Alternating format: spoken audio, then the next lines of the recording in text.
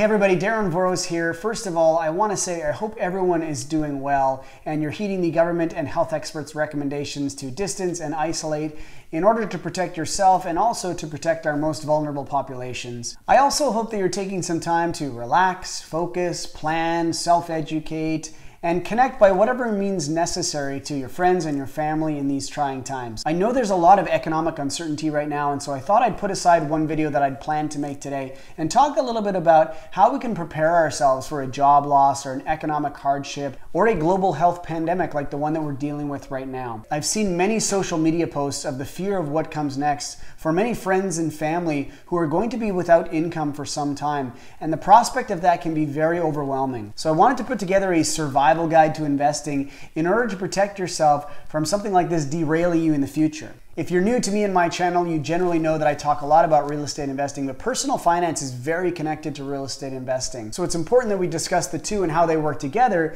in order to be able to set yourself up for success. Before we get into it, I want to remind you to subscribe to my channel. You can hit the notification bell and please feel free to leave comments and questions below for me. And without further ado, let's get into it. Step one of the survival guide of investing is tracking your spending. In order to know how much you can save or spend or invest, you have to know where your money's coming from and where it's going to. There's so many great options and tools for tracking your spending, and some of them are free and some of them are paid. There's just way too many of them for me to go into detail on every single one. There are apps like Mint and Mylo that you can download for your smartphone. There are also other ones out there, so do a little bit of research on what the best app is going to be for the application you want to use it for. There's also software like QuickBooks, which is what I use in my business. In any piece of accounting software, I'm looking for one major feature, and that is that you can directly connect your bank accounts to the software. This allows the software to pull the transactions from my banking institution and then I can reconcile them from there. Some financial institutions have their own tracking software, which can be very helpful. I do find these a little bit limiting when it does come to certain features like exporting transactions to your accountant, for instance. You can also go the old school route, which is pulling your transactions from your financial institution and then inputting them into an Excel spreadsheet or something like that. Whatever way you decide to go, ultimately what you want to be able to do is you want to be able to see all of your transactions and you want to be able to reconcile them and put them into categories. When you are reconciling your transactions, it's really important that you put in as much detail as you possibly can. For instance, instead of using something very broad like meals or dining out, I like to get a little bit more granular. I like to break things down even further into categories like coffee or alcohol or dining with friends, and you'll see why that's important on the next step. Once you've had a chance to break things down and total them up by category,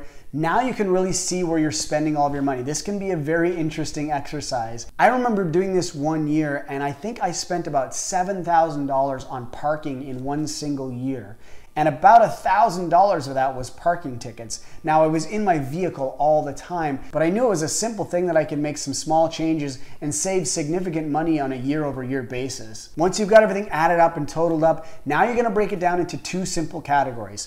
Your fixed costs, these would be things that you have to have in order to be able to live, like your rent, uh, your utilities, your car, your medications. The other category is discretionary spending, which pretty much is everything else. Now, I want you to be really ruthless here. So, for instance, your Netflix subscription, or your morning latte, or your red wine habit, these would all fall under discretionary spending, even though I know it doesn't feel like that sometimes. Once you've figured out where everything goes, now you're ready for the next step. After you've had a chance to review all of your spending, now comes step two of the survival guide to investing. And step two is reduce your spending. I know, it's no fun. The objective here is to go through line by line and see where you can find some efficiencies on where you're spending your money. Because there's that old saying, a dollar saved is a dollar earned. I've never been a big fan of sayings, but it makes sense. Having said that, I'm also a big believer in keeping everything in perspective. Don't be that person that's tracking every single penny on every single transaction because what ends up happening is people don't really want to be around you.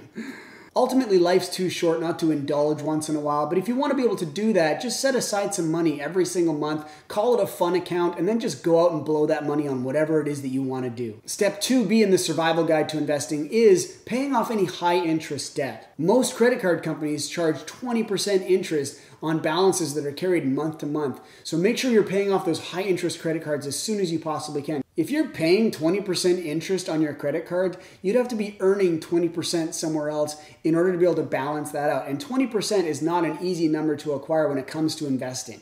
Step three in my survival guide to investing is start to build your emergency fund. Your emergency fund should be three to six months of your living expenses that you can access very easily. It should be sitting in cash or in a savings account. If you're looking for a great high interest savings account, you can go to a site called borrowell.com. I'll leave it in the description below. So you can enter your information into Borrowell's site and it'll give you recommendations based on your credit rating. For those of you that don't know, if you're checking your own credit rating, it doesn't count as an inquiry on your credit, so it won't affect your credit score. Once you've entered your information, then Borrowell will give you recommendations for credit cards, loans, mortgages, and also you can compare high interest savings accounts and you can figure out which one is best for you. Another option for holding your emergency fund would be in something like a GIC. You just want to make sure that your GIC has no penalties for early withdrawal and you want to be able to access that money within 30 days if need be. And for those of you that have rental properties, and I know there's a lot of real estate investors that watch my channel, you want to make sure that each one of your rental properties has that three to six months of an emergency fund built up as well. So if something happens, you've got that three to six months of your emergency fund before you have to start dipping into your own pocket.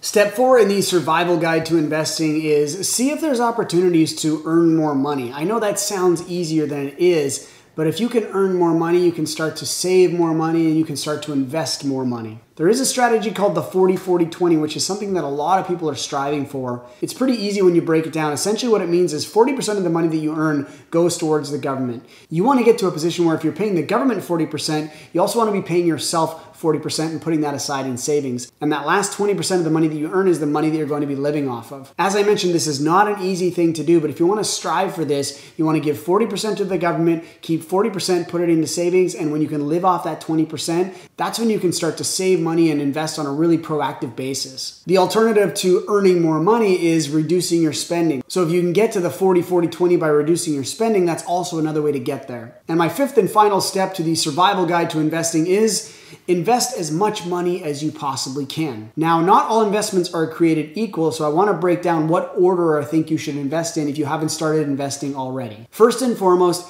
you want to be able to max out your TFSA, that's your tax free savings account. Right now in 2020, the maximum contribution for an individual is $6,000, and the combined contribution limit, if you haven't contributed anything to your TFSA so far, is $69,500. If you're not familiar with a tax free savings account, and I really don't think it should have been called a tax free savings account, I think it should have been called a tax free investment account. That would have really helped clarify things for people and really know what to do with this account. There's a variety of products that you can invest in with a tax free savings account, and essentially want to maximize this account because it's just like it sounds. If you earn money in this account, you get to earn that money tax free. The second thing you want to look at is RSP contributions. These are registered retirement savings plans. I got to be honest, I'm not a huge fan of RSPs because a lot of people don't understand them. Many people believe they are tax free investment accounts, which is not true. They are tax deferred investment accounts So if you take money at the end of the year and you contribute that to an RRSP, that gets reduced from your taxable income. You will pay tax on that money, but you'll pay for it when you take that money out of your RRSP, which for most people is around when they're 65 or 70 years old. The idea is that you're going to be in a lower tax bracket because you're going to be earning less money,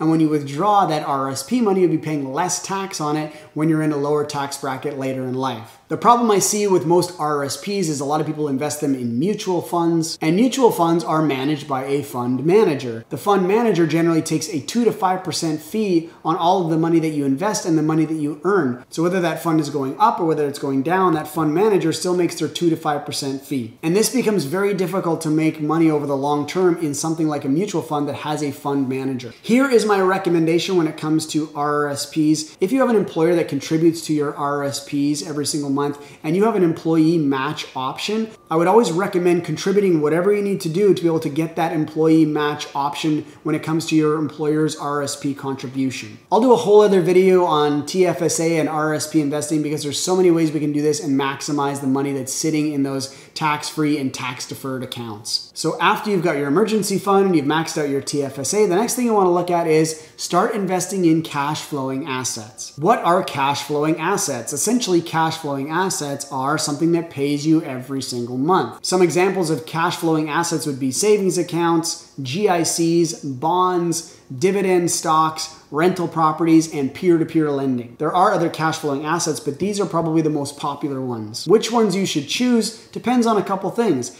how quickly you want to earn money, how much money you have to invest, and what your risk tolerance is. The risk tolerance on a savings account is incredibly low, and so is your return. So if you take the rule of 72, the rule of 72 says you take 72, you divide it by your fixed rate of interest. Let's say the bank is offering you a 2% interest on your savings account. You take 72, you divide that by 2, it gives you 36. That means it takes 36 years to double your money. If you took $100,000, you invested in a savings account, in 36 years, assuming you didn't contribute anything else, you'd have $200,000 in that account. That may not be fast enough for a lot of you. Rental property, on the other hand, has a higher risk if you don't really know what you're doing, but the returns can be significantly higher. On average, I'm trying to target at least a 10% cash on cash return when it comes to my investment properties. And if I have a 10% return, I take 72, I divide by 10, gives me 7.2. Every seven years, I'm doubling my money which is a much faster way to be able to build and to earn and to get you to your financial goals just that much faster. But really, it's about what you're most comfortable with and what you're most passionate about. I will say this I recommend diversifying your portfolio as much as you possibly can. So, having money in something that's very liquid, something that's a little more short term, something that's a little bit more long term, and having varying risk tolerances inside of your investment portfolio is the best way to go about it. I hope you guys found this helpful. And if you did, if you can smash that like button for the YouTube algorithm,